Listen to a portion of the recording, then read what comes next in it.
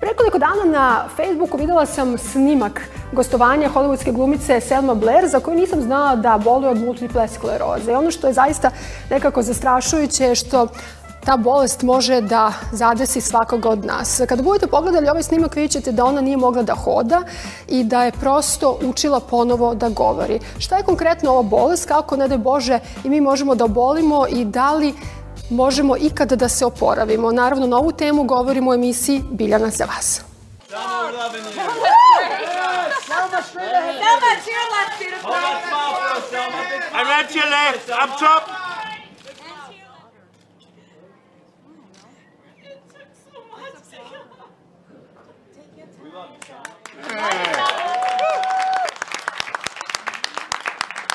How are you doing? I am doing very well.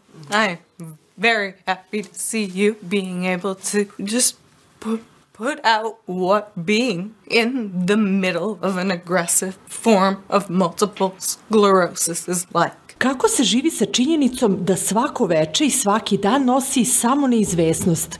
Koliko je važno da umete da stegnete zube i kažete sebi nema predaje? I kako da ne klonete duhom kad živite sa neizlečivom bolešću?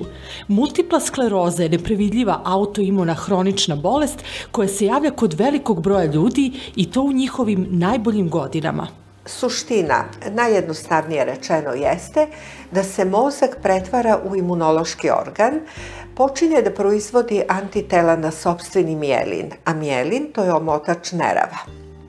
I na taj način se stvaraju mestimična oštećenja mijelina, a pošto mijelin omotava sve nerve od početka njihovog do ishodišta, znači stvaraju se mestimična oštećenja u mozgu koja se nazivaju plakovi. Bolest nije samo genetski predodređena, već je uslovljena i spoljnim faktorima.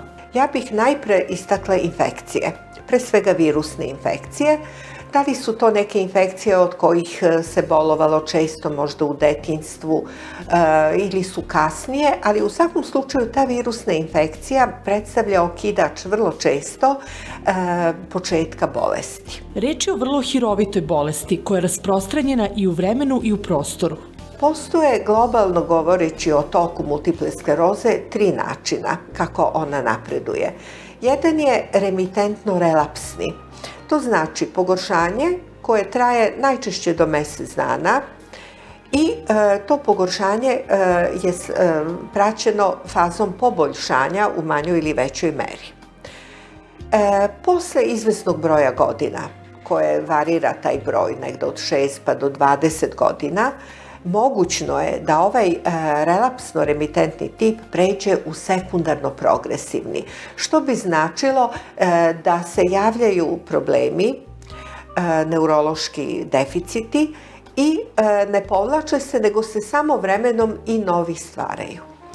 Drugi način toka bolesti jeste progresivni, primarno progresivni, to je redko, ali to znači od prvih simptoma pa nadalje ne povlače se ti simptomi, nego se samo gomilaju ovi drugi novi. U svetu trenutno 2,5 miliona ljudi boluje od ove hronične bolesti. To je bolest koja, nažalost, zahvata mlade ljude, odnosno ljude u punoj snazi, u punom životnom i radnom zamahu.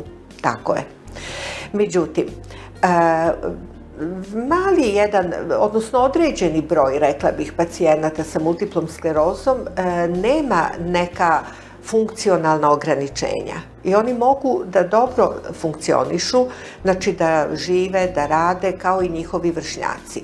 Naravno, vremenom, verovatno svakako se ta sposobnost funkcionalna smanjuje i posle 20 30 kako kod koga godina, moguće je da se razvije određeni manji ili veći vid invaliditeta. Sa multipla sklerozom može da se živi i radi, da se zasnuje porodica i da ovakva dijagnoza ne isključuje ono što je svojstveno mladim ljudima, a to je da im život bude u okviru njihovih mogućnosti što kvalitetniji.